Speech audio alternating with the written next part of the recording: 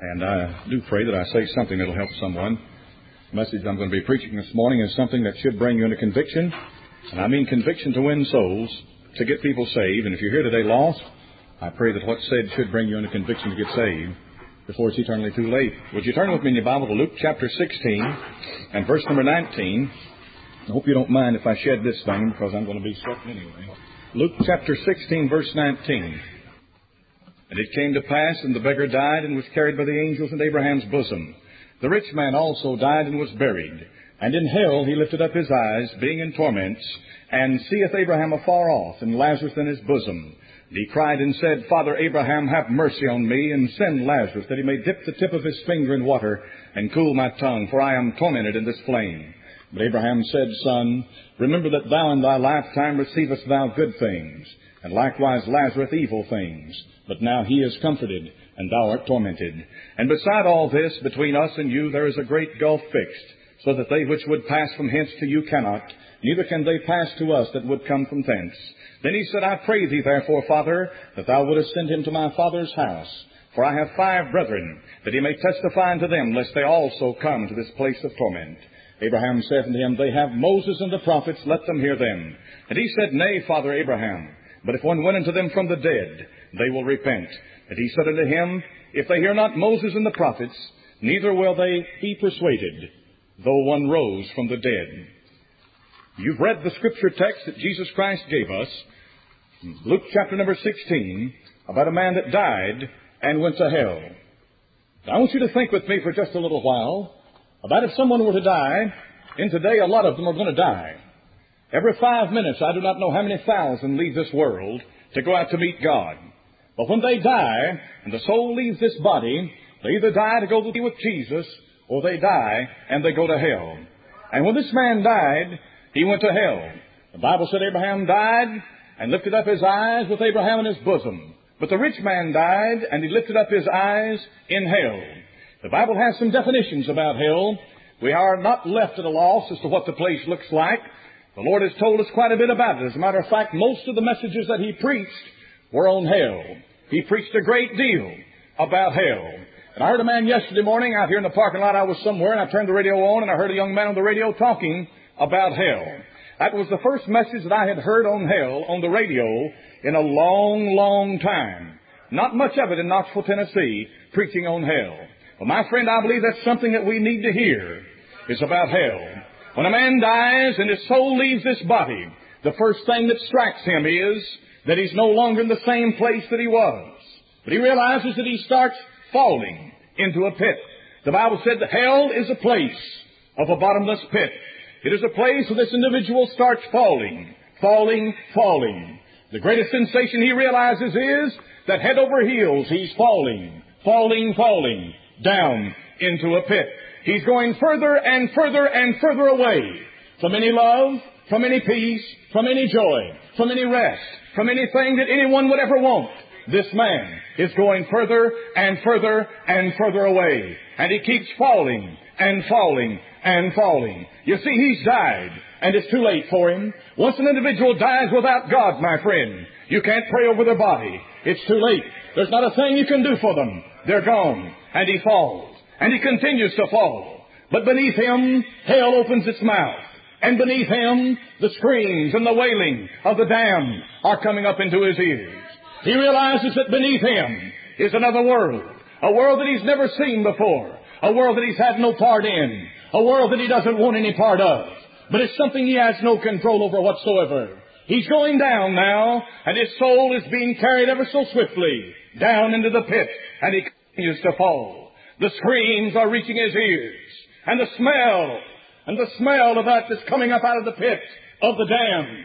He smells it, and he hears it, and there's no doubt in his mind what lies beneath him. He knows that he's going there, and he can't stop it, and he continues to fall. And the heat now, not only do the screams rise up into his ears, not only does he smell the smell of the stench of the decaying matter beneath him and the smell of hell, but my friend, the heat begins to rise up and engulf him. And he realizes that the deeper he falls into this pit, that the hotter it gets. And down he goes, deeper and deeper and deeper into the pit. The screams are growing louder and the heat is hotter. Why? Because he's falling, my friend, into a pit. And the pit in the Bible is described as hell. So down he goes and he can't stop himself. Maybe he claws at the sides. Maybe he does everything he can to try to stop this terrible plight that he's about to enter into. But I'm afraid it's too late.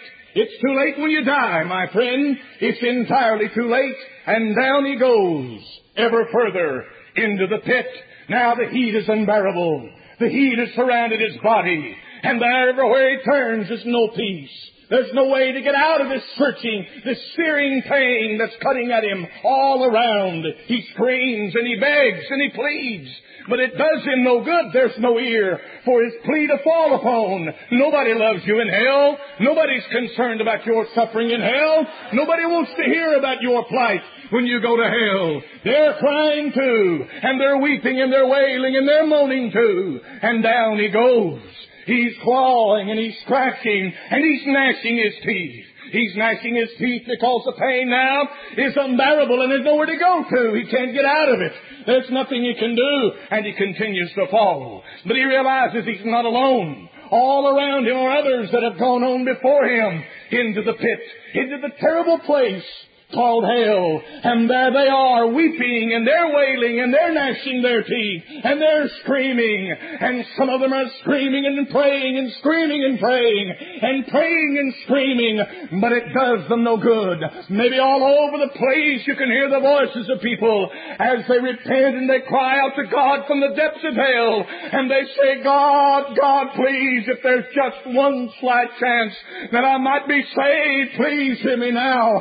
I won't out of this terrible place but the sound of the damned echoes off of the walls of hell, and it doesn't reach any higher to the ears of God. He has closed the pit of hell, and there are no sounds of mercy arising out of that terrible sinking place. There is no mercy in hell. There's no peace in hell. There's no rest in hell. It's nothing but weeping and wailing and gnashing of teeth in hell. And down he goes, and he continues to fall. And now there are those around him that are gnashing upon him and they're crying and they're screaming and they're tearing at him and he fights to get away from them and they fight to get away from him because he's screaming and gnashing.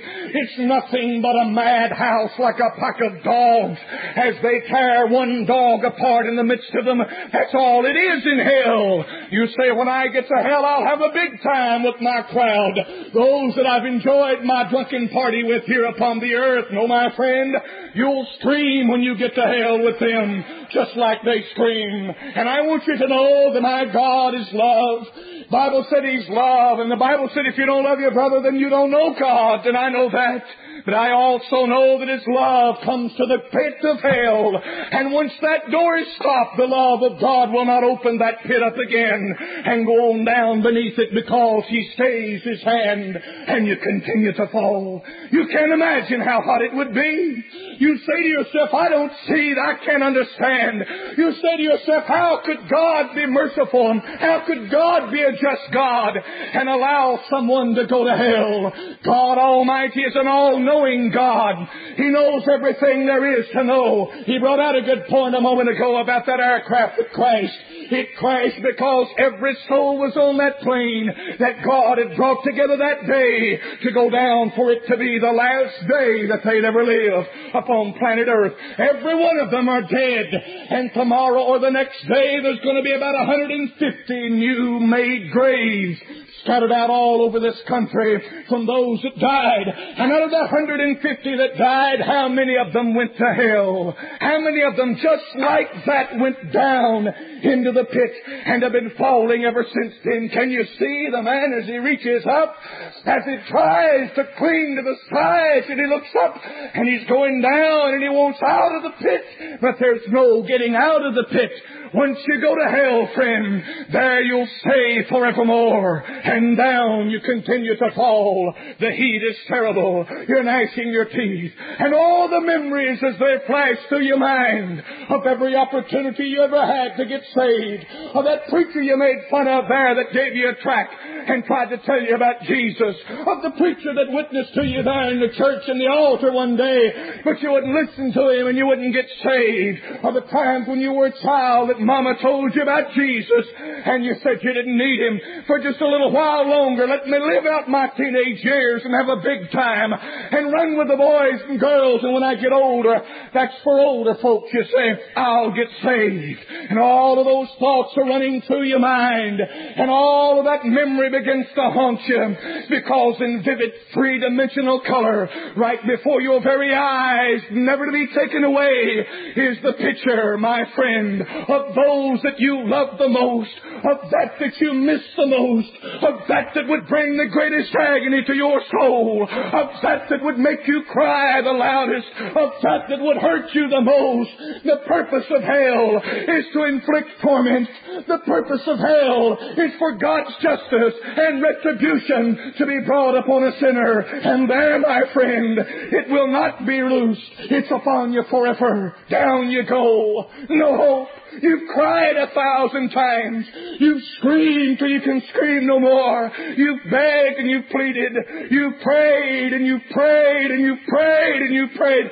I'll tell you if you want to have a prayer meeting, you open the pit of hell and you listen to the souls that have gone on that know not God, but let them have five minutes in this altar this morning to get saved. I'll guarantee you we would sing no more invitation hymns. They'd come running to the altar and upon their face they'd meet their Maker. They'd plead for salvation from God and you couldn't hold them back. Nothing would spare them. They'd be saved. But I'm afraid God doesn't do it that way. For the just shall live by faith.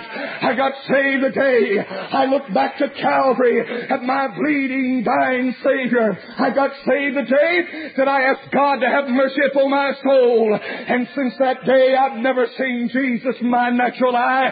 Oh, but I've heard His voice. I've felt His presence. I've seen His power. And I know He's real. He's in my soul this morning. And He's there forevermore. I am His. And He is mine. But my friend, it's a shame that the one in hell has no mercy. And He has no peace. But that's not all. Hell's not the end of it. You study your Bible, you know something worse than that's coming one of these days. I mean, even though the pit is terrible, and the man falls and he falls and he falls and he screams. My friend, one day as he goes down in that pit, head over heels falling, I don't know, maybe if he died today it'd be a thousand and seven years before you heard the call. But I know one thing. I know one thing, that one day the whole chambers of hell will sound with the echo. I know one day that every single soul that has gone on without God will hear the sound as the sound of thunder, as the voice of the Almighty, as the power of God, as the one the Bible said in Hebrews 1 that upholds all things by the word of His power. And when the Bible said all things, it means all. It means that hell is fueled by the power of God. It means that as long as God lives, there'll be a hell. And friend, He's not dead and He's not gonna die. And I want you to know when the sound comes that the whole chambers of hell will echo and that soul that had been falling will stop falling. And instead of falling, he starts coming up out of the pit. Can't you imagine the day when God reaches down and He opens that terrible lid and all of that stink, all of that screaming, all of the slime, all of the degradation of hell begins to rise up. Can't you see the picture when the day that God opens hell and out they come and listen friend, that power locks on to that soul in hell and instead of falling he finds himself rising. He cannot control that any more than he could going down. Listen, once you leave this world, you got no control over what happens to you then. You got every control this morning upon what happens to you. All you got to do is believe in Jesus and be saved. But when you die, you have no say so in the matter. Out you come. Up to the top again. You haven't seen sunlight in a thousand and seven years. Jesus came, friend, tonight, and you died today, it'll be at least a thousand and seven years before this happened. But it'll be the first time in a long time that you've seen any light. But it won't be sunlight that you see that day when that pit opens up and out you come. You're going to come into another world you've never been in before. For all around is nothing but utter bleak black darkness. I mean, when you look out to where Pluto was, there is no Pluto. When you look to the east to where the sun was, there is no sun. When you look to where the planets were, there are none. You see, the Bible said in Revelation chapter number 20 that the heavens and the earth fled away, and there was no more place for them. That means that one day God's Son gonna lift His hand, and when He raises it to the point that He calls the power forth, it'll be gone. In the moment, in the twinkling of an eye, it will be gone. It will melt with fervent heat. It will be gone. The Bible said the elements shall melt with a fervent heat. What's that for, preacher? Out of all of that, out of the utter blackness of eternity, that's the way it was, you know, before God ever made anything. There was just God the Father and the Son and the Holy Ghost. Just the three of them. Before there ever was a cherubim or an angel or a Lucifer, before anything was, there was God, the Father and the Son and the Holy Ghost in perfect love and communion among them. But my beloved friend, one day that'll happen again. Nothing, nothing, nothing but the inhabitants of hell coming up and seated in heaven upon a beautiful throne. Is the darling of my soul, is the Savior of my soul, is my God and my King, is my Lord and my Master, is the Alpha and the Omega, is the beginning and the end, is the Word, the Son of Abraham, the Son of David, the Son of Man, the Son of God seated upon a throne with a vast host of heaven around him. Nothing beneath him, my friend. There is no planet to stand on. There's no air to stand on. Just the throne. And people, people, people. As far as your eye can see are people. Beautiful people. You say, how beautiful, preacher. All of them replicas of the one sitting upon the throne. Made alive and made anew in the Son of God for we shall bear his image. I bear the image of the earthly today, but glory to God, hallelujah, I shall bear his glorious image. There they stand, no old people with hair falling out, and with arthritis in their joints bent over a cane. No more dear old saints lying in bed for 30 or 40 years eaten up with disease, waiting and pleading for the moment that God calls them home. No more cancer to eat away at the body and let the loved one lie in a hospital bed while mama and the rest of them stand around the bed and they weep and they cry and they look up into their eyes and say, Mama, who brought that man into this room. And as you look around the room, maybe standing there just as beautiful, my friend, as he's always been. Mama, who's that man? I'll tell you what happened when I was a child. My grandfather told me about one of his boys that passed away when he was 12 years old. And my friend, when he passed away at 12 years old, he told them about a man standing in the room with them. And that man was a beautiful, brilliant man of light.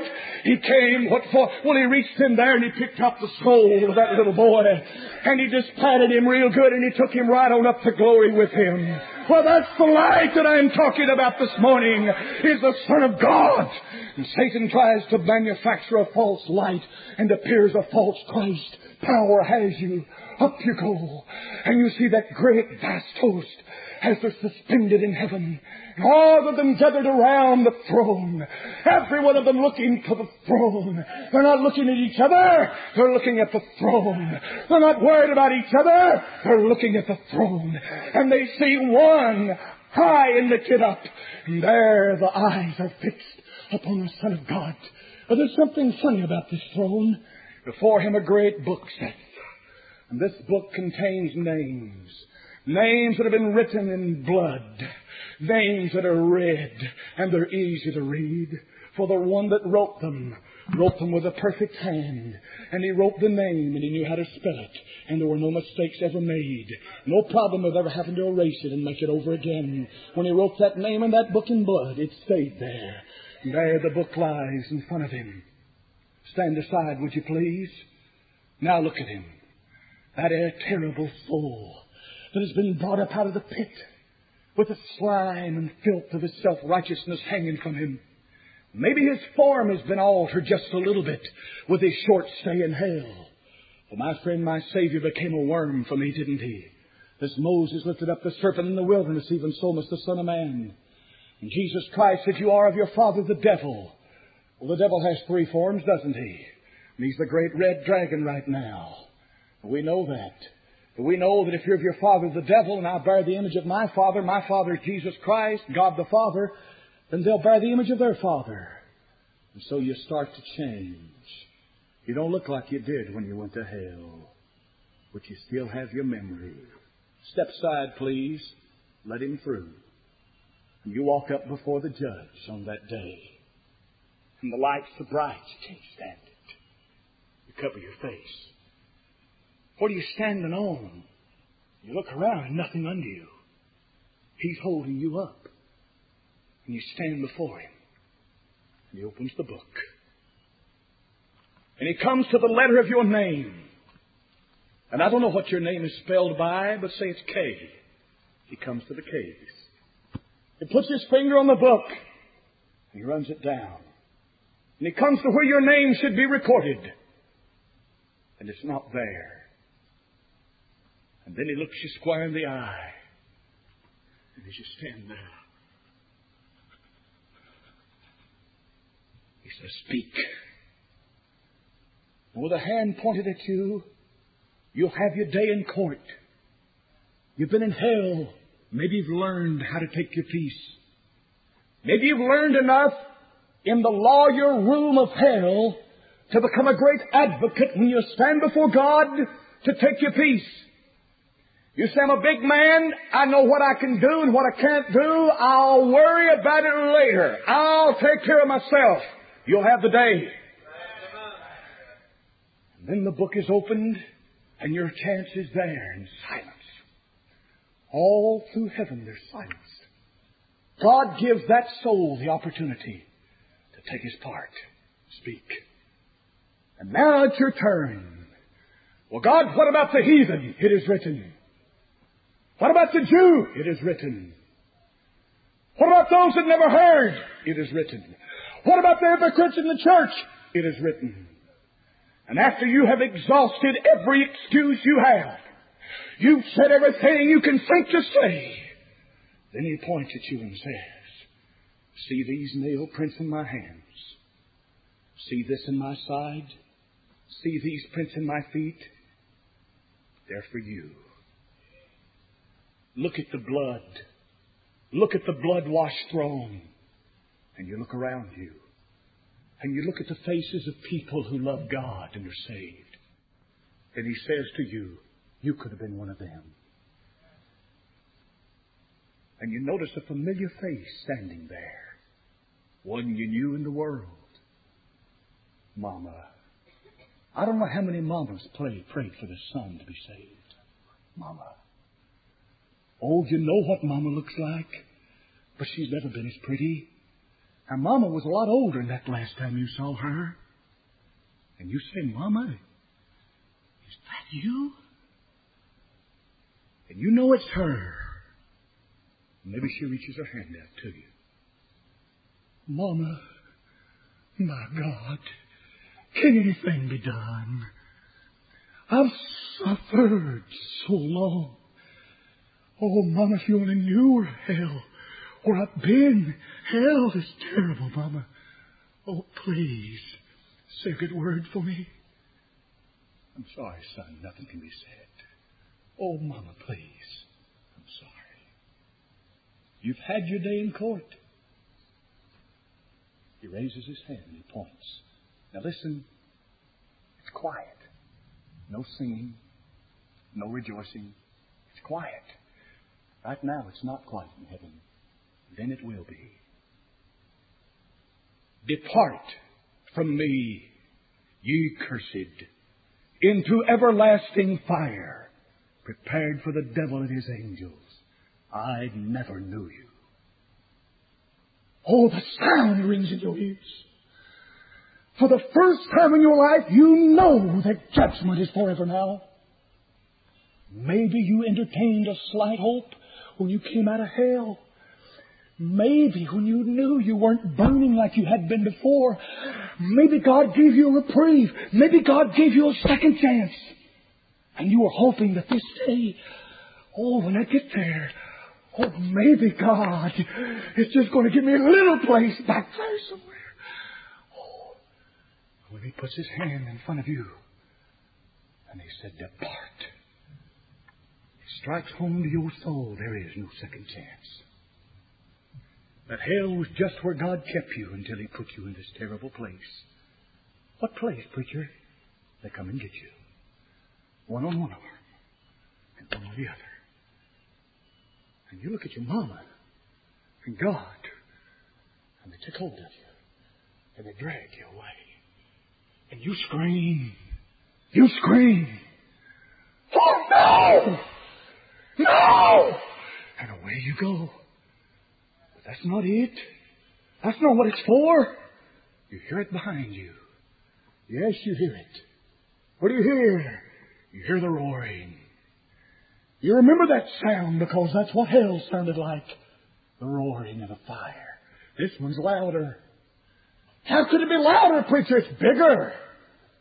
You hear the sound of the roar, and it's behind you, and you know where you're going now. Oh, you fight and you plead and you beg and you reach for Mama, but the hand won't let you go. You try to get away, but you can't get away. Where can you go? What can you do? You can't do anything. And the way they drag you. And the last sight you see is that great throne as they all look once again to Jesus sitting upon a throne. And there your mama. Maybe her eyes follow you just a little way. And she turns her head back. And she looks at you for the last time, crying. Her tears are rolling off of her cheeks. God has to allow it, I suppose.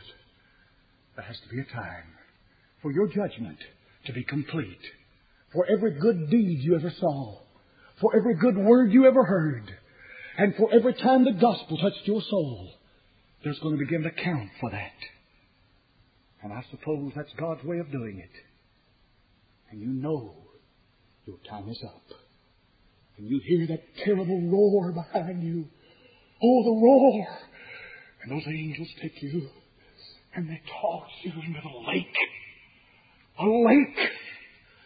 As far as the eye can see, boiling, bubbling, spitting fire into the sky where there is no sky. A lake burning with fire and brimstone. And you're tossed bodily into that lake. And you go into the lake and just that fast you're completely covered with the fire and the brimstone. And it burns from your feet to your head and you scream and you fight and you thrash. And you're in a lake of fire. And the arm comes up and up and you try to pull yourself up. What for? It'll do you no good. And as that hand reaches, gaping for the last time, and it comes down, down, down, beneath the surface of that lake, and you go into the lake of fire and brimstone to burn forever and ever. And then the last soul to be judged at that judgment, and the last scream to be heard, the Son of God gathers your mama, and all the rest of them around that great throne. Come in close, he says. Come in close. Lifts his hand, and he starts at the right hand. And as that hand crosses every face, no more crying, but a smile. And when it reaches the other side, every tear has been wiped away, every memory has been gone. She doesn't know you anymore. She'll not be tormented with your mind, with thinking of you forever.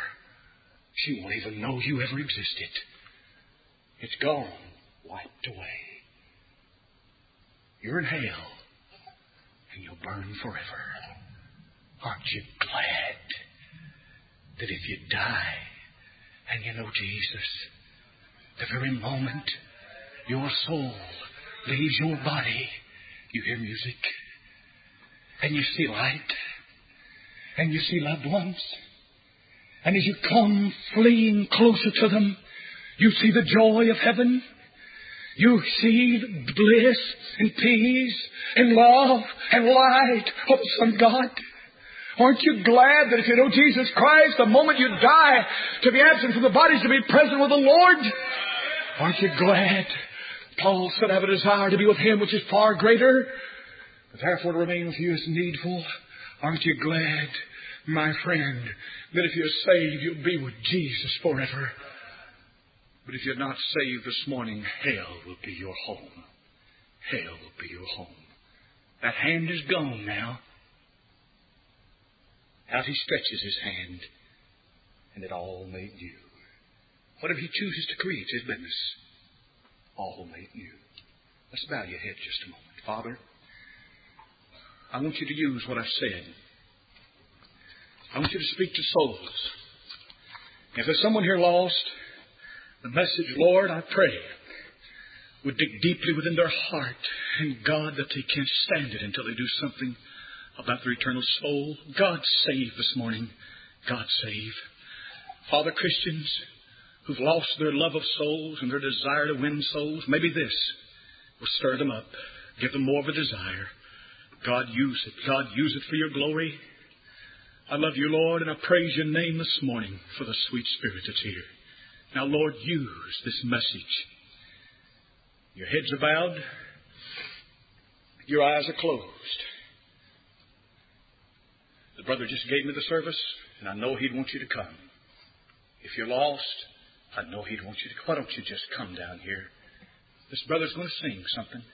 And while he's singing, I want you to just slip out of your seat, walk down to the front, and somebody will meet you with a Bible and show you how to get saved. Listen to him sing.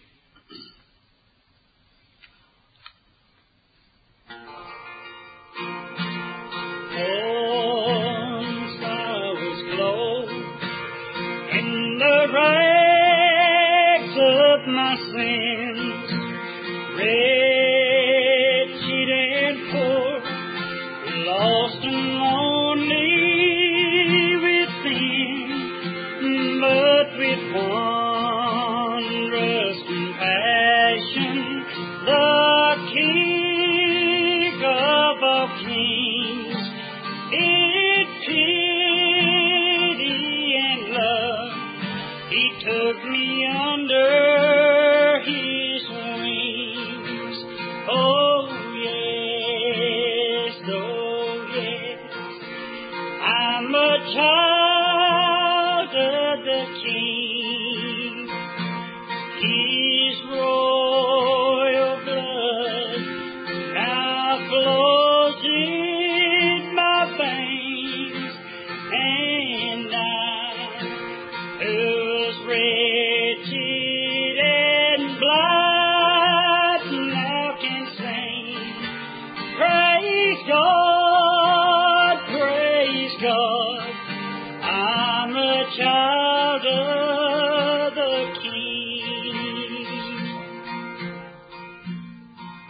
September the 17th, 1946, a record book started. In heaven, the angel recorded in that book, born, General Hospital, Knoxville, Tennessee, baby boy, Charles W. Lawson. Nine years later, baptized, Beaumont Avenue Baptist Church, Charles W. Lawson. Thirteen years. Boy starting to be rebellious, talking back to his grandparents. Very stubborn. Seventeen years of age. He enters the Marine Corps. He learns how to cuss. He learns how to drink. He learns how to be a big man. Very rebellious. Very self loves self. Age of 21, age of 20, he marries Linda Going. Still a drunkard, still self centered, still loves self. Age of 21, discharged from the Marine Corps. goes to work, still a drunkard, still self centered, still loves self. March 1973, 10:15 p.m. Bowed his head, asked you to forgive him of his sins. His soul got saved that night. He got born again. Nine years ago, the record book stopped. From that day on, another book took my record. Everything that was done from that day forward was entered into another book. The book for that purpose, to judge me for rewards. Bless my soul. Give me peace and a home in heaven. But the day that I met Jesus, 1973, March, the day that I got born again, recorded in heaven, the greatest day of my life. Listen, friend, do you know there's a day where you got born again? Do you know it? Do you know without a shadow of a doubt there's a day? I'm not talking about some general vague thing that you seem to hope maybe that's when it was. I'm talking about a day in your life when you know that you met God through His Son, Jesus Christ. Say, no, preacher, I just don't know if there's a day. Well, come down here this morning and let this day in July be the day that God records in heaven they got born again. Why don't you do it right now? Come this morning. Come on, right now. He's going to sing one more verse while your heads are bowed. Would you come?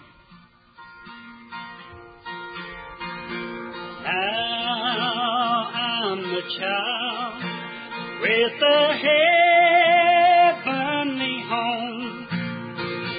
My Holy Father has made me His own, and I'm cleansed by His blood,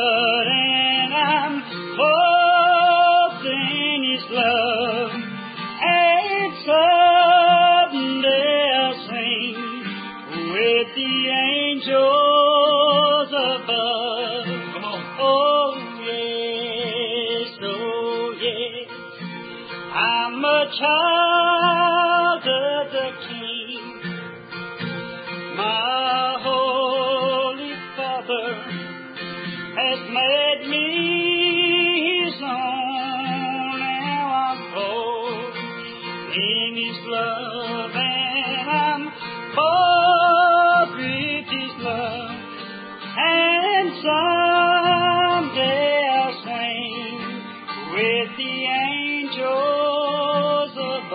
right, let's all stand up and let's ask the song leader to please come up and lead us in whatever he's chosen.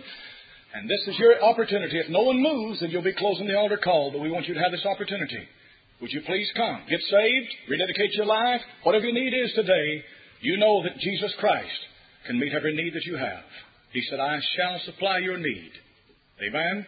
And He will. Would you trust Him? Come on while we sing. All right, I'm glad for the message. Let's bow our heads for just a moment. Maybe there's nobody here this morning that's lost. Maybe there's nobody that needs to be saved. The message has been clear, plain, simple, straightforward. We understand it. If you don't know the Lord as your Savior, and if you're not saved, don't leave this day without the Lord. The picture that He has painted of hell is a true and a real picture. We could never describe the awfulness and the torment of it, the pain, the agony. Those words cannot describe what it's like. I'm glad today to know that I'm not going to that place. May have to suffer a lot, may have to go through something, but I'm not going to go to there. I'm not going to go there to find out how bad it really is. I'm going to believe God, and God said it was bad. I don't. He said it was terrible. I don't want to go there. We that are saved There's people that live on the same street with us that are going to go and burn in that place. There's aunts, there's uncles, there's mothers, there's fathers, there's brothers, there's sisters, there's cousins. They're going to go there. Unless somebody tells them how not to go, how to get out of it, how to miss it. Now, if you're lost today, didn't want to come in the invitation, but you want to be saved, after the service you find a Christian, Brother Lawson myself, tell us you'd like to be saved. We'll be glad to take the time, take the Bible, and show you how you can be saved. If you are a Christian, I know that the Lord has spoken to your heart, spoken to mine. We need to wake up. Hell's real. It's burning. That rich man's been down there nearly 2,000 years now, screaming, begging, crying. Lost people, people without Jesus Christ, are going to go there. Appreciate the message. Appreciate the man that brought it. This kind of messages that made America a great country like it was. The kind of men who stood, preached the truth, stood for the truth, and told it just exactly like it is. Think about it. Father, I pray today you bless the words of this message. Speak to the heart of every person that's in this building this morning. They're lost and without the Lord Jesus Christ. They've never really realized that hell is a real place. I pray that today they'd realize it. They've never seen it pictured, Lord, like it was today. I pray that they'd see it vividly and really. Lord, I pray that they might forget Lawson, they might forget this church, they might forget this town. But Lord, if they're here lost without Thee, may they not forget the message that's been preached today. May they not forget the truth and the reality of what's been spoken of today. God, may they have no rest day nor night. May they have no peace in this life until they trust Thee as their Savior. Lord, I know it'd be better for them to suffer here. I know it'd be better for them not to have peace here if that would lead to them getting saved and to go to hell and burn forever and never have peace once again. Deal with their heart. Don't let them leave this building without Jesus Christ. God, for us that are saved, awaken us. Lord, revive us, stir us, quicken our minds and our heart and our conscience that we might see hell is real. The people that live around us, town that we live in, the loved ones, the relatives we have, Lord, they're going to die and go to hell without Thee. Lord, give us boldness, give us courage, wisdom, and strength to tell them about a Savior that loves them, about a God who doesn't want them to go to hell, about a Lord and a Savior who will save them if they'll trust Him and believe on Him. Bless the message and the Word of God that was preached today. I pray it in Jesus' name. Amen. Lord bless you and good day. February of 1975. At that time, I was an alcoholic out of control. Uh, I was also using uh, recreation drugs, but primarily alcohol was my drug of choice. And uh, I totally was out of control.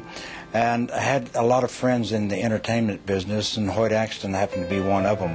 Ringo Starr and a bunch of people. And so they were having a TV special on the West Coast. And so Hoyt had called me and asked me if I would like to go uh, or come out. And I told him, yeah, I'd love to because I knew there was going to be a lot of booze. I knew there was going to be partying.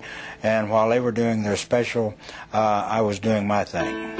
And so after about three or four days out there, I became ill. And uh, by ill, I mean I, be- I had a severe pain in my abdomen. I flew into Oklahoma City and uh, called a senator friend of mine and told him I had to have a car because I was ill, I was sick.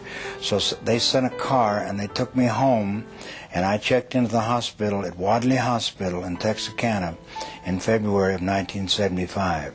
I checked in with electrolytes, which means my potassium, my chlorides, and various chemicals were so far out of balance that uh, they had to give me IVs to build me up. Now, at that time in my life, I was an atheist. Uh, I was a hardcore atheist and uh, was living for myself. Uh, atheists are self-centered and they live for themselves. And this is where I found myself in 1975 in the hospital, and they took three days and then they operated me. And when they operated me, I found myself in intensive care. I woke up on a respirator, which means they were breathing for me. Uh, I was I couldn't speak, but I you know, and I had been laying there in a coma, and I had heard these people talk about how sick I was, and how I was going to die, and how I wouldn't get out of the hospital. And at that time, my hair was very, very long because I, uh, I just wore my hair long. And I heard one guy say, "My, his hair is long," and another guy said, "Not nearly as long as it's going to be before he gets out of here." And a third voice said, "He's not going to get out of here. He's going to die." And after three days, I could breathe on my own. And I remember my doctor, my surgeon, a guy by the name of Donald Duncan. He told me, he says, Don, if you have anything to get right, if you have anything to get signed, you get it done because we're not sure. We're not sure how long you have. So I knew, see, I had a condition that was called acute hemorrhagic necrotic pancreatitis. You don't live with this disease. Now, you can live with pancreatitis. You can even live with acute pancreatitis. But you do not live with acute hemorrhagic necrotic pancreatitis. Duncan had told my two sons that I would be dead before morning. They didn't expect me to survive. And, uh, you know, I'm laying there. Now, I, am a professed atheist. And when I say professed atheist, I didn't believe in God. Uh, I believed in the power of the universe because I had seen it. You know, I'd seen life and death. As a physician, I dealt with life and death. I, I believed in something, but don't talk to me about God, and surely don't talk to me about a resurrection or a virgin birth or this type of thing, because I am in research science. PhDs in research science, the majority of them do not believe in God. They do not believe in a supreme being. They believe, and they're beginning now to believe that there is order in the universe, uh, because as we get farther and farther along, uh, we see the order. But I was an atheist. Now, see, it's very easy to be an atheist when you're successful. You have worked your way from Oklahoma welfare to being one of the most powerful men in your part of the country, one of the most powerful men in the state of Oklahoma in relationship to political. It's very easy to be an atheist when you have done all of that. Man can sit back and say, I don't need God. What is God? But it's very difficult to be an atheist when you're laying on your deathbed because you begin to think, what if these people are right? See, there'd been one man by the name of Ron Short that has stood between me and the gates of hell. One man that had witnessed to me about the love of Jesus for five years before I became ill. One man. And, you know, I would debate him, and I liked him because he did what he said he was going to do. I mean, he was the only one that I saw that professed to be Christian that lived what he said he was going to do. Uh, and so I, I really respected him. I didn't believe what he said, but I respected him. But when I'm laying on my deathbed and knowing that I'm going to die, guess who I thought about? I thought about what if Ron is right? What if there is a heaven and a hell? And so the most immediately, immediately, the most pressing thought in my mind is, how do I get saved? What is saved? What is saved? How do I get saved? And so I sent them for Ron Short. I wanted him to come down uh, because I wanted him to do every what he had to do. I had no idea. How can a man hanging on a tree in Israel 2,000 years ago, what is that to me? But I knew that he had something that I had to have. And that night, see, I had him go for Ron, but Ron wasn't home. Ron was in Alabama. And so I had him go and send for Ron. And that night was the longest night that I've ever had in my entire life, before or since. And that night is as I would be laying there in bed. As I'm laying there in bed, I would begin to fade away. I would begin to fade away, and as I would fade away, I would begin to go down. It, now, it was like darkness. It was like, it was so, so dark. It was like the very darkness just penetrated into your very, very being. And as I left, and I can tell you I left my body because I remember when I came back into my body You know, I don't know where I was out of my body. Now, there are people that talk about the, the, a light. There are people that talk about floating above. There are people that talk about a feeling of warmth and love. I didn't feel any of that. I felt none of that. I felt untold terror. Untold terror. Because I knew that if I ever went all the way, if I slipped all the way, I would never get back. Now, in my beings of beings, I knew that. And so I fought all night long. They told me later on, I not only pulled the mattress cover off of the mattress, I pulled the mattress up on me because I had to stay. I had to wait. I had to wait till Ron got there. Whatever he had to do, I had to wait. But I would again, and then I would leave, and I would I would be going down like a deep, deep, dark terror.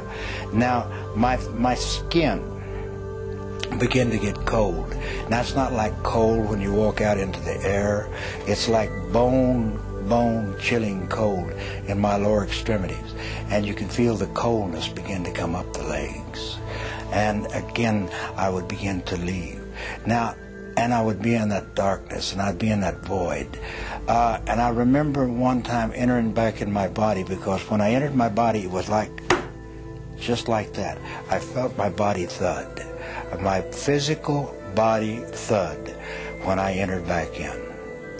Now, I, believe me, believe me, that is the most horrifying, terrifying experience that I've ever encountered. And I fought all night long. And the next morning, somewhere 9.30, 10 o'clock, in came Ron. And Ron came in and he says, Dr. Whitaker, what do they say is your chances? I said, Ron, they tell me I have none. He says, now's the time. And I said, you're right. I mean, I'd cursed him, I'd spit at him, but now was the time because I had to have whatever he had because I had a short period of time on earth and I didn't know I have any idea when I might make that trip and go all the way. At that time, Ron led me simply in the sinner's prayer. Now I had no idea what the sinner's prayer was, but I see I trusted Ron. But he led me in the sinner's prayer and told me that Jesus had died for my sins. He had died for the sins of the world. Uh, I didn't quite understand that, but I knew, you know, he showed me in the Word of God where it said that. Now you have to understand, I'm a man of books. I've spent a big part of my life, 25, 26 years of my life, in books, uh, in you know all types of scientific books uh, chemistry, like I said, degree in chemistry, advanced degrees, uh, all the way out to the medicine doctor to practice medicine, all of these degrees. So he told me, and I believed him because it's in this book. And it was a new book unto me, and it was called the Bible. And so I led, I, I, I, I let Ron lead me in the sinner's prayer, and I, I said the sinner's prayer after him. And I can tell you one thing there was a peace that came over me like I had never known. I'd search for that peace. I'd search for it in the bottles, alcohol. I'd search for it in needles. I'd search for it in drugs. I'd search for it with women. I'd search for it all types of places. But there was no peace in my life. But once I accept Jesus Christ as my Lord and Savior, I was no longer afraid. I still believed I was going to die because I knew the condition I had is that you do not survive it. I knew that. I'm a physician. I knew what I had you did not survive. And he shows me in the Word of God, it says, These signs shall follow those that believe. They shall lay hands on the sick, and they shall recover. I walk around on planet Earth this day, taking no insulin, taking no enzymes, eating whatsoever that I might, and God produces in my body every day the correct material for me to function without having to take medication. You know, when you see blind eyes open, you see the cripples walk, you see the leopards cleanse, and you see them with your own eyes. You know, you you see that. Then it doesn't take a rocket scientist to figure out that you know the Bible is true. The prayer of faith, the prayer of salvation is not some just little prayer. It's the only way to the Father. And that's the only way. Now, all of these people that in the New Age movement that believe that everybody's going to heaven, that you can worship anything, you worship a flea, you can you can squeeze a tree, uh, you can worship a crystal, you can worship a star. I got news for them. They're not, you know, they're not going uh, unless they accept Jesus Christ as their Lord and Savior, because the Word says the only way to the Father is through the Son.